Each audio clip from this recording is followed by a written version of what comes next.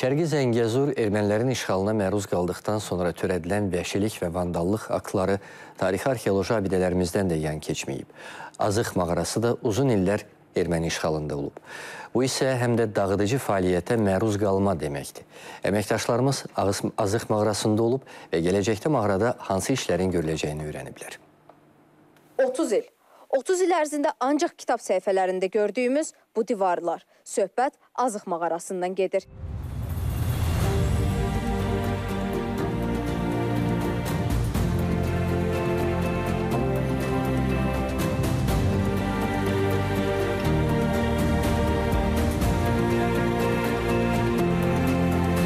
Dəniz səviyyəsindən 900 metr hündürlükdə Xocavəndin Azıq kəndində yerləşən eyni adlı mağaradayıq.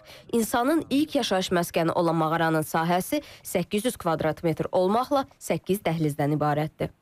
İçəri daxil oluruq. Burada kobud və səriştəsiz arxeoloji tədqiqatlar aparılıb.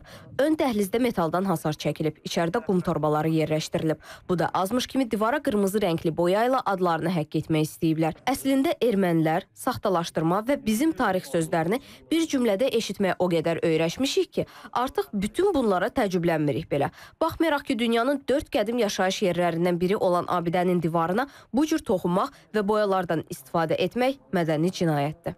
3 dekada, yəni 30 il ərzində ermənilər burada müxtəlif araşdırmalar aparmağa cəhd ediblər. Bunun üçün yerli və xarici mütəxəssislər cəlb ediblər. Amma görün, onlar bizim tarixi abidəmizi nə günə salıblar.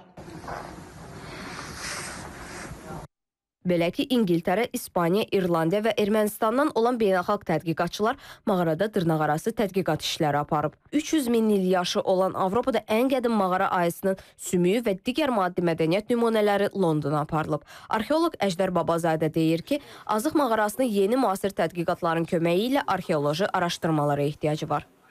Torpaqlar işğaldan azad edildikdən sonra həm Qarabağda, həm də Şərqi Zəngəzur bölgəsində arxeoloji tədqiqatların aparılması nəzərdə tutulur. Burada sadəcə arxeoloji qazıntılardan öncə öncə qoruma, bərpa işləri aparılması vacibdir.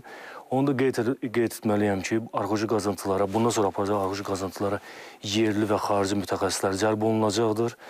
Burada sadəcə arxeoloji qazıntılar deyil, arxeologiyanın müasir sahələri, eksperimental tədqiqatlar, arxometrik, yəni fiziki kimyəvi analizlər aparılacaqdır. Eyni zamanda rəqəmsal arxeoloji vasitələrlə, araşdırma, araşdırma vasitələri ilə onların aparılan tədqiqatların vizual görüntüləri də yaradılacaqdır. Erməni vandallarının ad şəklində yəni adlarını yazması və digər bu kimi digər qab-qacaqlarla çirkləndirilmişdir.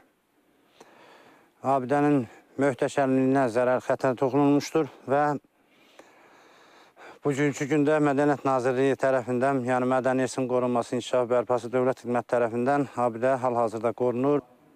Beləliklə, tarixi abidəmiz artıq güvənli əllərdədir. Tezliklə abidənin əsl sahibləri burada tədqiqatlar aparacaq və gələcək nəsil mağaraları təkcə kitab səhifələrindən deyil, həm də canlı görə biləcəklər. Səbinə Şükürova, Səfər Nəzirov, İTV Xəbər.